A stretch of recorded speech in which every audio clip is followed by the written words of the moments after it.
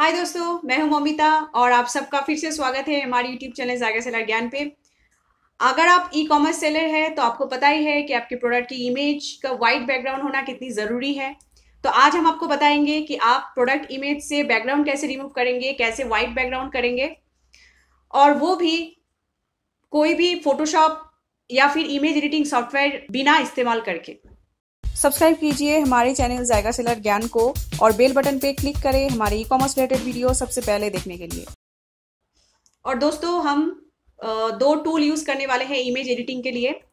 एक जो background removal के लिए हमें चाहिए माइक्रोसॉफ्ट वर्ड और दूसरा जो है इमेज रिसाइज करने के लिए मार्केट प्लेस की गाइडलाइन के मुताबिक हम यूज़ करेंगे पेन टूल पेन टूल दोस्तों विंडोज़ में ये डिफ़ॉल्ट ही आती है तो आपके सिस्टम में अवेलेबल ही होगा अगर वो विंडोज़ है। और दो इमेज दोस्तों, मैं अलग अलग स्टेप बाय स्टेप आपको इमेज एडिटिंग करके दिखाऊँगी। तो चलिए स्क्रीन पे चलते हैं। तो आइए देखते हैं प्रोडक्ट इमेज के बैकग्राउंड आप कैसे रिमूव करेंगे। हम यहाँ पे बहुत ही सिंपल एक टूल यूज़ करने जा रहे हैं और वो है माइक्रोसॉफ्ट वर्ड तो आप यहाँ पे देख सकते हैं, हमने दो एग्ज़ाम्पल यहाँ पे लिए है। बेसिकली एक है जो बेबी क्लोथ्स है, जो आप देख सकते हैं यहाँ पे फ्लैट वाइट बैकग्राउंड के ऊपर खींची हुई है। और दूसरी प्रोडक्ट जो है वो है ज्वेलरी ये एक बैंगल है जो भी बैक व्हाइट बैकग्राउंड के ऊपर ही शूट किया गया है. लेकिन प्रॉब्लम होती है आपका व्हाइट बैकग्राउंड जो है प्योर नहीं होता है.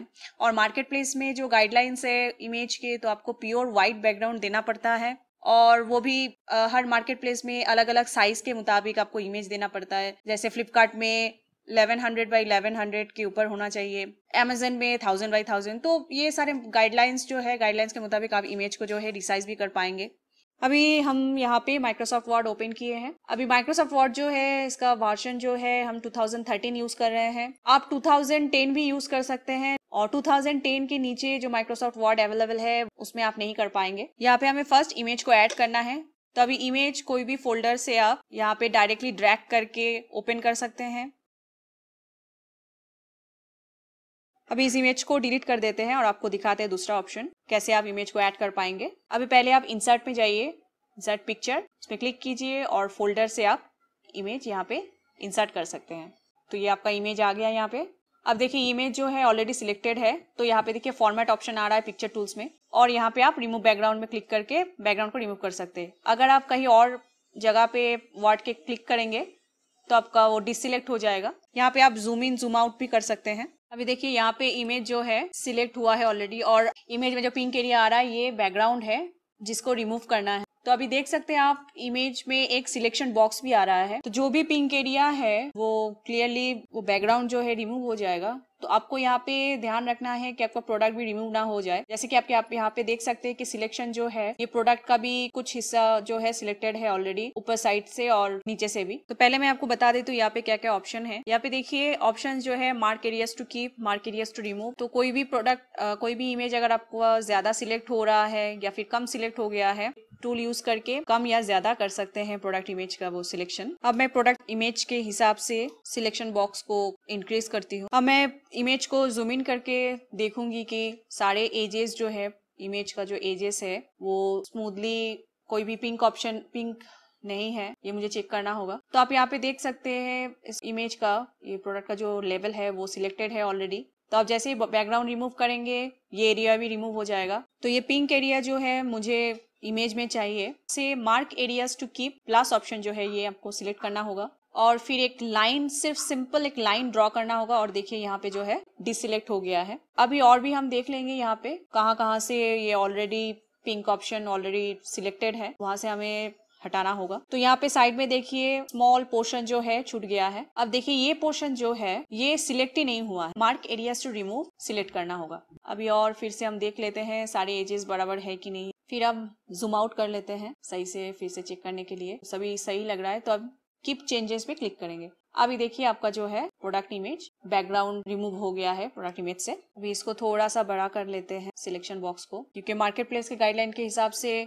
इमेज जो है 85 परसेंट कवर करना चाहिए कैनवास पे। अभी देखिए आप लेफ़्ट हैंड साइड में एक ऑप्शन है करेक्शन तो आइए यहाँ पे करेक्शन हम इस प्रोडक्ट का करेंगे। जैसे हम आपको बताए थे प्रोडक्ट इमेज जो है प्रोडक्ट खींचा हुआ जो इमेज है ये क्वालिटी अच्छा नहीं था। तभी देखिए करेक्शन पे क्लिक करके हम शार्पनेस बढ़ा सकते हैं सॉफ्ट कर सकते हैं प्रोडक्ट इमेज को। अब देखिए ब्राइटनेस हम यहाँ पे ज़्यादा या कम कर सकते हैं, यहाँ पे ज़्यादा करने से देखिए जैसे कि बहुत ज़्यादा ब्राइट हो गया है तो ये सही नहीं है। तो थोड़ा सा कम हम सिलेक्ट करेंगे ब्राइटनेस देखिए यहाँ पे जैसे ब्राइटनेस ट्वेंटी परसेंट है contrast zero percent plus twenty percent ऐसे आ रहा है। तो हमें सिलेक्ट करना है एग्जैक्टली exactly जो ज़्यादा ब्राइट ना हो, जो नॉर्मल प्रोडक्ट के कलर ही लगे। तो अभी देखिए कलर करेक्ट हो गया है। तो अभी हम पिक्चर को सेव करते हैं। और सेव करते वक्त हमेशा आप पीएनजी में इस प्रोडक्ट इमेज को सेव करें। तो देखिए अब कैसा, कितना डिफरेंस हो गया है ओरिजिनल इमेज और जो हमने अभी प्रोडक्ट करेक्ट किए हैं। देखिए यहाँ पे जो ओरिजिनल इमेज में जो था, उसका स्टिचेस भी बराबर नहीं आ रहा था। तो यहाँ पे देखिए जो इनहेंस होके आया है इमेज में प्रोडक्ट स्टिच भी पता चल रहा है और कलर भी करेक्ट होके आया है। और यहाँ पे प्रोडक्ट का एक साइड जो था लेफ़्ट साइड जो है ब्लड था, वो भी देखिए यहाँ पे शार्पनेस बहुत स्मूथ हो गया है। अभी इस इमेज को जो है हमें रिसाइज करना होगा। अभी देखते हैं प्रॉपर्टीज़ यहाँ पे डिटेल्स में आप क्लिक करेंगे तो देखिए यहाँ पे जो है हाइट और वेट बहुत ज़्यादा है। तो अब इसे हम कम करेंगे। तो आप अपने सिस्टम में तो आप पेंट को आप ओपन कीजिए। आप प्रोडक्ट इमेज को पेंट में रिसाइज कर सकते हैं। तभी हम इमेज को ओपन कर लेते हैं पेंट में। और यहाँ पे देखिए रिसाइज ऑप्शन है। उसमें क्लिक करेंगे हम। और पिक्सल्स में जाके हम चेंज करेंगे। जैसे फ्लिपकार्ट के मुताबिक 1100 होना चाहिए एक साइड। तो हम ऐसे सिलेक्ट कर लिए हैं। अभी इस इमेज को हम जो है सेव करेंगे। तो सेव करते वक्त अब पीएनजी से हम चेंज करके जेपीजी करेंगे। वो भी परफेक्ट साइज़ के साथ। तो ये हो गया बैकग्राउंड रिमूव करने के बाद इमेज का आउटपुट आप देख सकते हैं कहीं से भी कोई ब्लारनेस नहीं है। Neat and clean product image जो है नीट एंड क्लीन हो गया है। तो आइए अभी देखते हैं कम्प्लेक्स इमेज जैसे कि ज्वेलरी इमेज जैसे हमने एक यहाँ पे बैंगल दिए हैं तो ज्वेलरी में क्या होता है कि एजेस जो है स्मूथ नहीं रहता है स्टोन होता है कभी कभी एजेस साइड में तो उसमें बहुत दिक्कत आती है एडिटिंग करने के वक्त. तो उसको भी आप कैसे करेक्ट करेंगे, कैसे आप एडिट करेंगे बैकग्राउंड वो भी, वो हम दिखाएँगे अब. पिछले बार की तरह ही हम यहाँ पे इमेज को जो है सिलेक्ट करके रिमूव बैकग्राउंड पे हम क्लिक करेंगे. तभी इमेज जो है सिलेक्ट हो गया है। देखिए, यहाँ पे आप देख सकते हैं, कुछ एरिया जो है छूट गया है तो हमें जो है यहाँ पे सिलेक्ट करना है। तो देखिए, हम यहाँ पे मार्क एरियाज़ टू रिमूव जो है वो सिलेक्ट किए हैं। तो वो सिलेक्ट करने के बाद पूरा जो आइटम जो है प्रोडक्ट जो है, वही सिलेक्ट हो गया है बैकग्राउंड के साथ। तो इसमें फिर से हम मार्क एरियाज़ टू कीप में एक लाइन ड्रॉ करेंगे प्रोडक्ट इमेज के ऊपर। तभी हमारा जो है सही से सिलेक्ट हो गया है बैकग्राउंड अभी देखिए जूम इन जूम आउट करके हम जूम इन करेंगे तो हमको पता चलेगा, देखिए एजेस जो है प्रोडक्ट का, वो कितने सारे एजेस जो है छूट गया है। तो हम यहाँ पे फिर से मार्क एरियाज़ टू रिमूव पे क्लिक करेंगे, जो हमें नहीं चाहिए प्रोडक्ट में, वो बैकग्राउंड में हम सिंपल सा एक लाइन ड्रॉ करेंगे ताकि वो रिमूव हो जाए। तो इसमें बहुत सारे एजेस है तो हम यहाँ पे थोड़ा सा फास्ट फॉरवर्ड में आपको दिखाएँगे।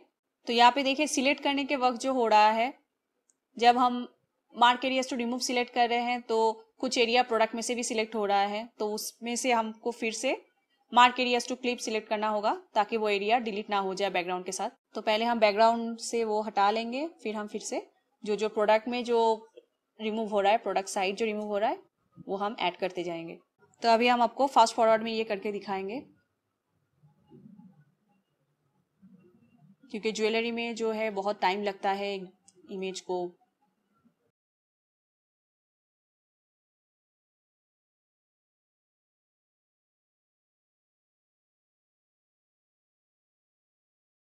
सही से बैकग्राउंड रिमूव करने के लिए। फिर हम किप चेंजेस में क्लिक करेंगे और बैकग्राउंड को रिमूव करेंगे। तो यहाँ पे बैकग्राउंड रिमूव हो गया है। अब चलते हैं इमेज को करेक्शन करने के लिए। अब यहाँ पे हम चेक करेंगे, ज़्यादा ये ओवर ब्राइट ना हो जाए, वो आपको ये ध्यान रखना होगा। अभी हम सेव कर देते हैं प्रोडक्ट को इमेज को अभी। अभी इमेज को हम जो है पेंट में रिसाइज करेंगे। देखिए इमेज का जो है वाइट बैकग्राउंड पोर्शन बहुत ज़्यादा है तो उसको हम बाद में कट करते हैं। पहले हम रिसाइज कर लेते हैं तो ये हमारा इमेज जो है रिसाइज हो गया है। अभी यहाँ से हम बैकग्राउंड को जो है क्रॉप करेंगे, क्योंकि प्रोडक्ट जो है 85 परसेंट होना चाहिए कैनवास के। इसके बाद हम सेव करेंगे इस इमेज को। अभी फिर से जैसे पीएनजी में लास्ट टाइम सेव किए थे, अभी जेपीजी में सेव करेंगे। हमेशा याद रखिए, जब आप वॉट से इमेज बैकग्राउंड रिमूव कर रहे हैं तो हमेशा पीएनजी सिलेक्ट कीजिए इमेज फॉर्मेट और जब आप पेंट में आके सेव करेंगे तो आप जेपीजी सिलेक्ट करिए। इस इमेज का भी देखिए, अभी बैकग्राउंड जो है रिमूव हो गया है। और कोई एजेस में भी प्रॉब्लम नहीं है ब्राइटनेस भी सही है। ये फ़ोटो एक नॉर्मल डिजिटल कैमरा से खींचा हुआ फ़ोटो है। तो ये था दोस्तों, आप कैसे प्रोडक्ट के बैकग्राउंड रिमूव कर सकते हैं। तो दोस्तों हम उम्मीद करते हैं कि आप प्रोफेशनली अपने प्रोडक्ट इमेज को एडिट कर पाएँगे ये सिंपल टूल से। और फिर भी अगर आपके, आपका कोई भी सवाल है, आप कमेंट करके ज़रूर पूछिए। और अगर आपको ये वीडियो पसंद आए तो लाइक करना मत भूलिएगा। और अगर अभी तक आपने सब्सक्राइब नहीं किए हमारे चैनल को तो सब्सक्राइब ज़रूर कीजिएगा। तो मिलते हैं अगले वीडियो में। तब तक के लिए आप सबका समय बहुत शुभ रहे।